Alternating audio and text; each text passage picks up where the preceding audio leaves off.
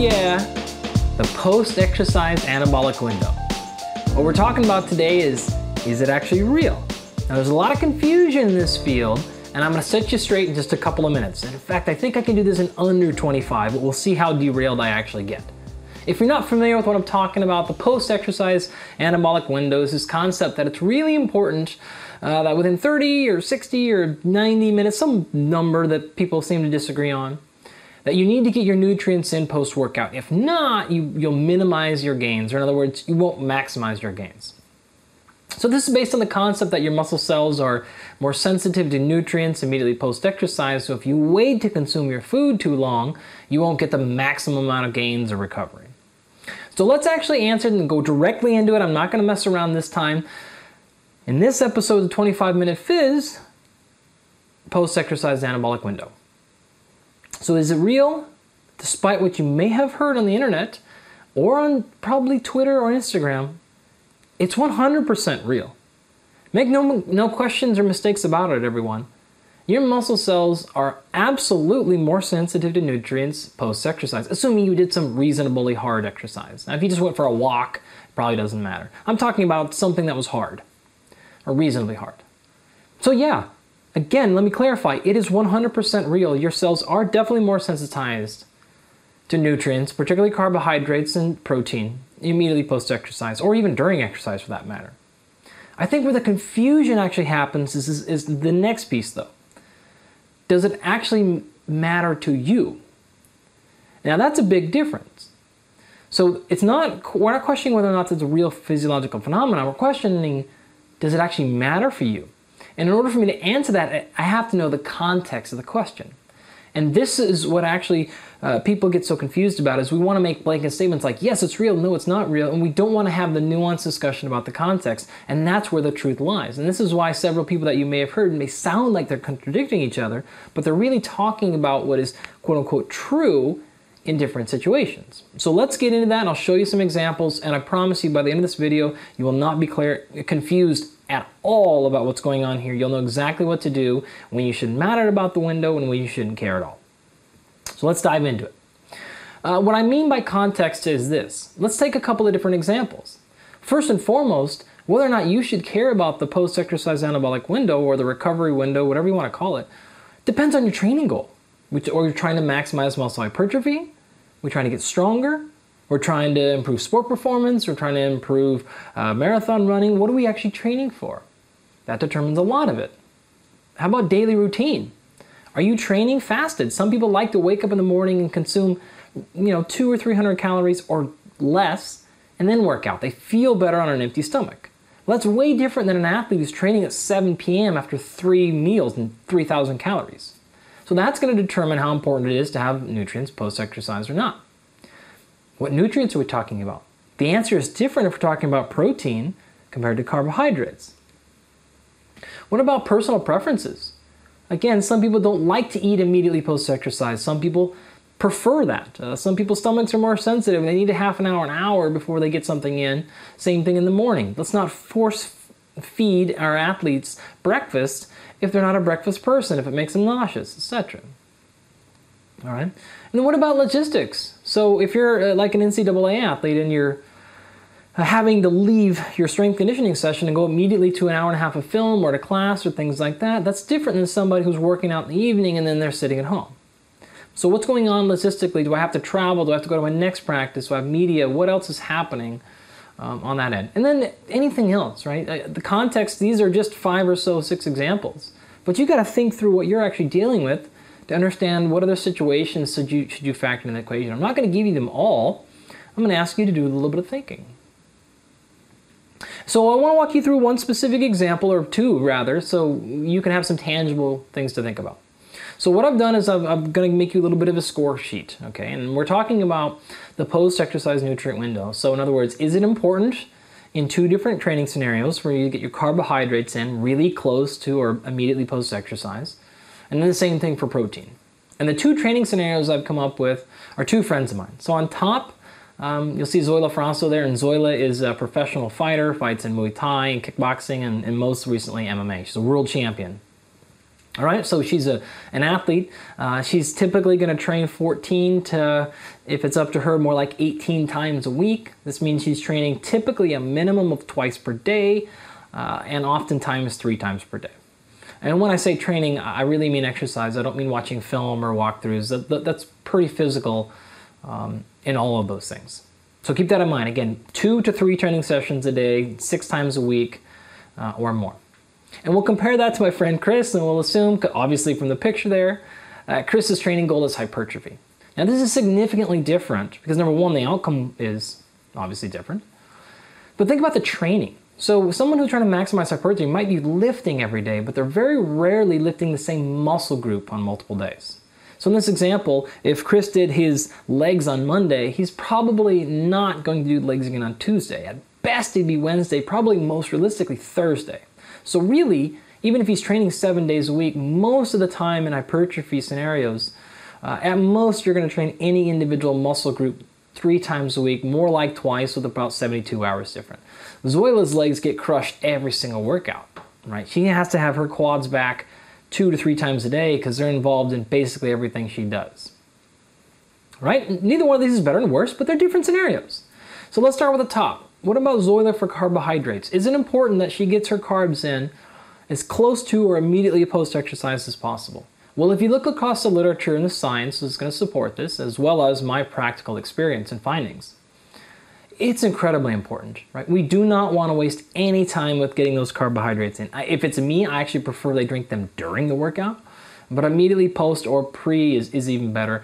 We have to resynthesize muscle glycogen. So the vast majority of the energy she's, go she's going to get for her workouts come from the, the stored glycogen uh, or the carbohydrates in her muscle. The most direct, direct way to replenish that carbohydrate is to consume carbohydrate. And again, we have less than four hours typically, or maybe five to six, to restore that. And we're going to be doing that multiple times in a row, four, five, six days in a row, for eight to 10 to 12 weeks we don't have any time to mess around. We need to get that carbohydrate in really, really fast. So we're in that case, we're going to choose low fiber, uh, high glycemic index foods to get that stuff in immediately or as quickly as we possibly can. In terms of protein for Zoila, I would actually say it's the same thing. Now, we'll get into total protein intake throughout the day a little bit in a second. But this is a logistic concern, right? So we have we know that consuming protein post exercise doesn't harm muscle glycogen resynthesis. So it doesn't necessarily aid it a whole lot, uh, but it may provide a slight bump to slightly nothing. It's going to start aiding in muscle recovery, maybe not a whole lot, but some. But more importantly, here we just have logistics to consider.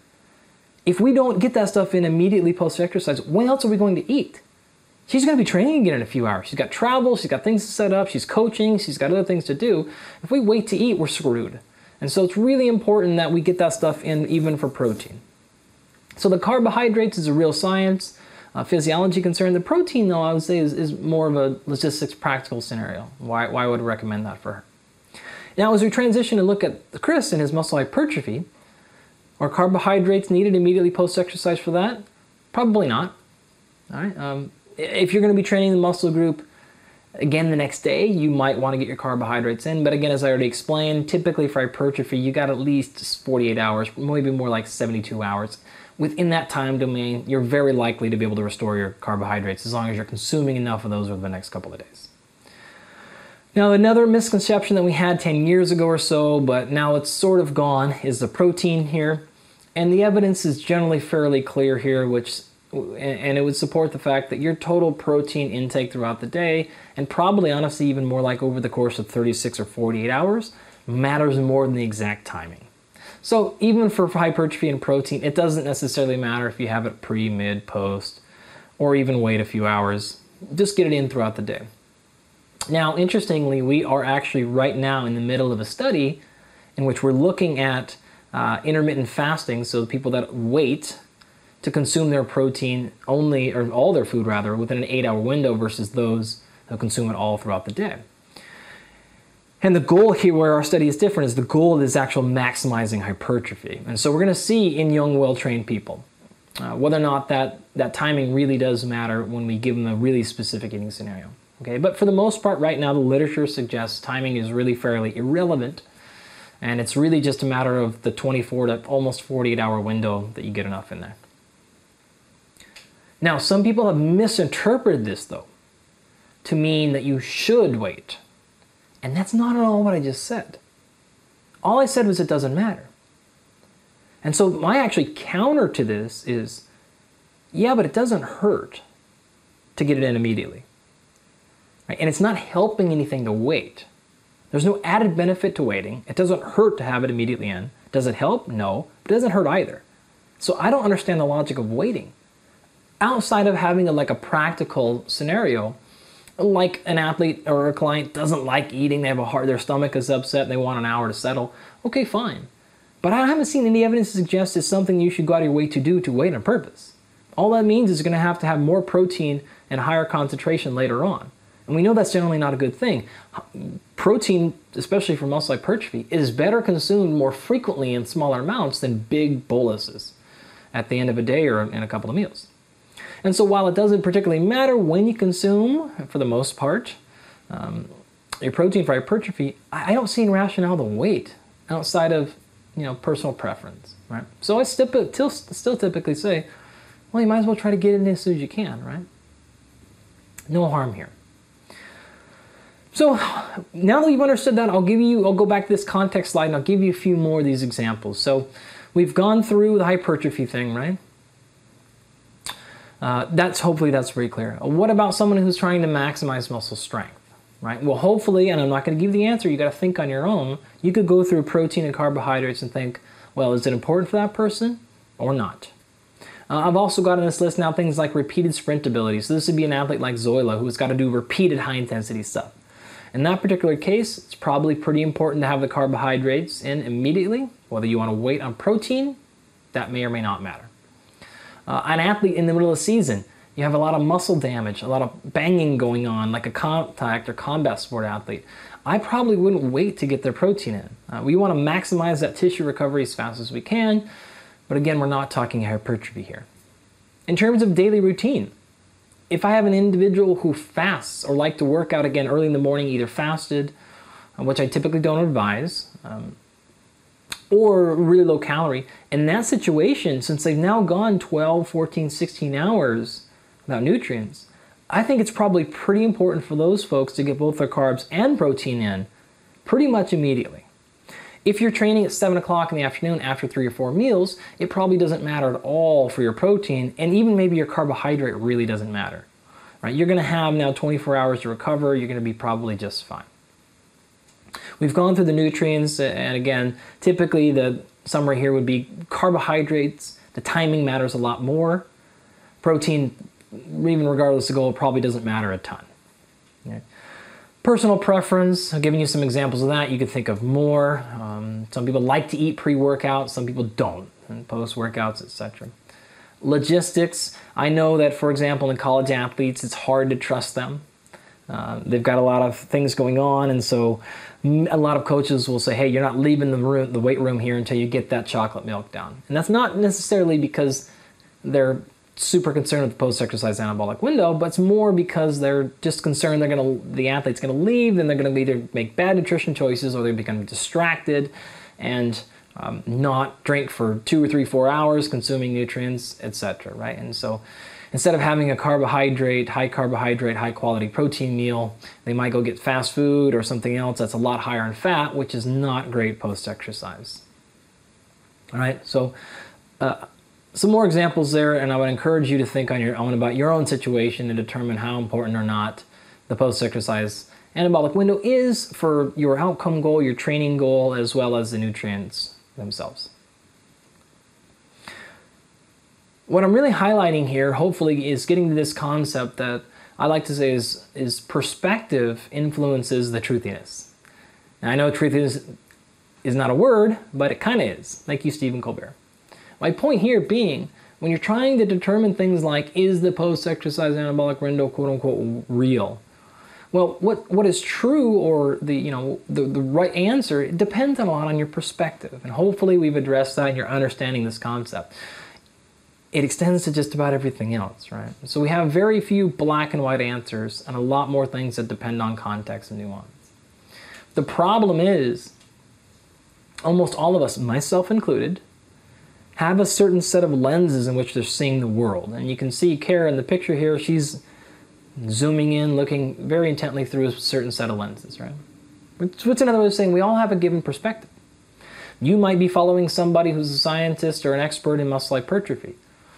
And you can then pretty much assume they're always thinking about uh, training adaptations, nutrition, programming from the context of hypertrophy. And so, what would be true, or a thing that you would always want to do or never want to do when the goal is hypertrophy, may or may not be the same thing for a performance athlete. That may or may not be the same thing for general health or fat loss. Again, we all have perspectives. We shouldn't be worried about that. We just need to acknowledge that. So I'm totally cool with you zooming in and, and, and keeping your eyes down on, the, on, those two microscopes at all times. But just realize that there is a microscope there and that you're zoomed in and you have tunnel vision and you're probably not at all times considering enough different perspectives. All right? So make sure you figure out what that lens is for you and adjust accordingly when needed, right? So if you are typically working with fat loss clients and now you have an athlete or client that comes to you and wants to improve their basketball performance, you really need to take the time to rethink all the things that you do, the recommendations and the prescriptions you have regarding their context, not yours. So to give you some tangible examples of that, uh, I like to think of it this way. When you're trying to look at the data or the science and you're trying to come up with the right answer, well, the data are what the data are, and there's really no arguing with that. Unless you're a scientist and we can argue over your study design, your methodology, your stats. If you're a general practitioner, that's not really your job. But your job is the next two pieces, and that's interpretation and context. And those two things are a matter of perspective.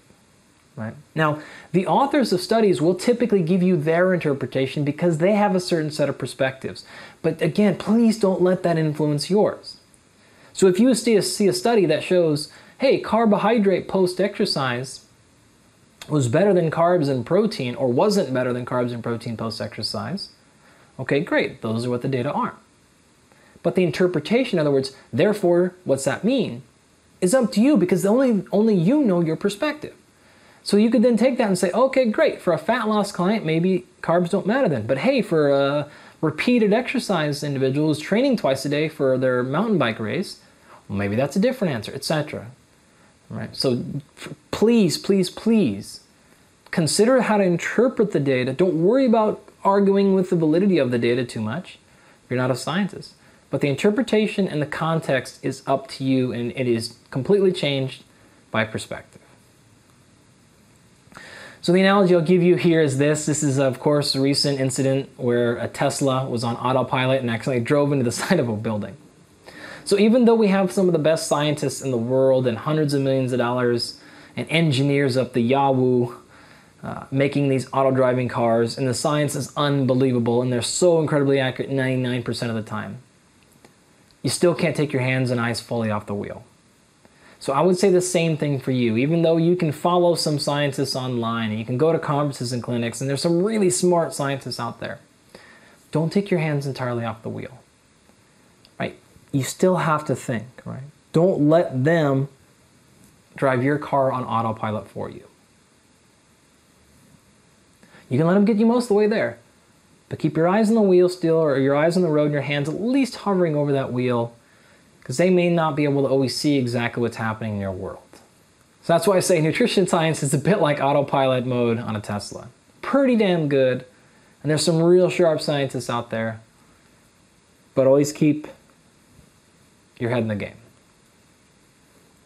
So the lesson I hope you learned from today's video is what I call amateur scientists and armchair coaches. So the amateur scientists are the coaches and practitioners who you know look at some science and think they know the answer to everything, right? So it's like, well, great, science showed you should always, or the post-exercise anabolic window is complete garbage. No, that's not what the science says. Like, try not to overinterpret science like that if you're not a scientist. On the flip side, the armchair coaches. So these are scientists who do one study and therefore think they know how to tell all coaches what to what to do. Well, probably not, because you're probably only considering one training outcome and not all the rest, not logistics, not what it's like to actually work with a human being and, and all things, all those other considerations, right? And then finally, that nutrient timing um, is more than just protein and hypertrophy. The vast majority of the conversation in the nutrient timing world is sort of fixated on that, and I don't want, and that's important, but I don't want you to be disillusioned into thinking that's the only consideration, and therefore protein timing or uh, nutrient timing doesn't matter. So to summarize, uh, what we currently know in the literature suggests regarding post-exercise nutrients. Number one, it may not, you may not need it exactly post-exercise or anything like that, but it doesn't hurt either, right? So there's no advantage to waiting. Number two there, if you're training fasted, maybe you want to consume those essential amino acids or complete proteins and carbohydrates as soon as you possibly can with very little fat. However, if you're training fed, the total amount of, of essential amino acids and protein especially consumed throughout the day or over a two-day period is probably more important than the timing itself.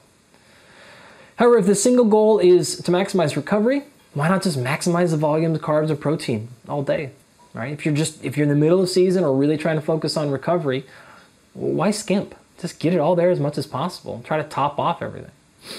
If the goal is to lose weight though, or fat loss more specifically, I would still concentrate those, those proteins, amino, essential amino acids, and carbohydrates around your training, and then cut your calories on off days or on meals that are away from your training.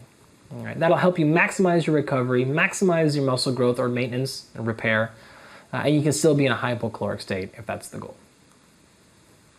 Hopefully you've learned a little bit about uh, this exercise concept, nutrition concept, but also you hopefully you've learned a little bit more about the idea of being a knower versus a learner. So your homework today from this video is to Google those terms and search that. I think we need a lot more people to understand this concept and spend a lot more time in one of these than the other. Hint, hint. Right? So Google that around. I'm not going to walk you through it, but it's a really, really, really important thing for both scientists. I, I think scientists do an incredibly poor job of this. They get really stuck into one of the categories here. Uh, and then practitioners tend to be a little bit better, uh, but the science, the scientist community could really improve here. Uh, the Instagram models, the influencers, are just epically terrible at this. In fact, their whole job is to be completely on one side of the equation and to convince you so hard to buy their stuff by acting like they're they're really far down one end of the spectrums, right? so I would typically say this is another way for me to advertise it: uh, better decision making on your part for your clients, yourself, your athletes, individuals, is what I'll call being wise. And everybody, we want to be wise. We don't want to be smart. We don't want to know things. We don't want to know information. We want to make better decisions, right? And in order to do that, we have to have good quality information, good data. We got to pay attention to the science. We got to go to clinics and conferences and know what's going on. But we got to combine that with our understanding of context and have some humility. We don't know everything. We don't know every situation. And just because someone's making a different decision than we think is good, we may not know everything that's going on, right? And with acknowledgement that the reason we continue to study things like this is we don't know everything. There are still pieces to this information or pieces to this scenario we don't know yet. So as more research comes out, I may change my position on some or all of this stuff, right? So there's always a little bit of humility we have to have, uh, especially in the fields of nutrition and, and high performance. If you want to read more about this topic, I would strongly encourage you to read the ISSN, International Society of Sports Nutrition's a position stand on nutrient timing. Chad Kerksick led this thing up, and it's fantastic. They cover a lot of this stuff.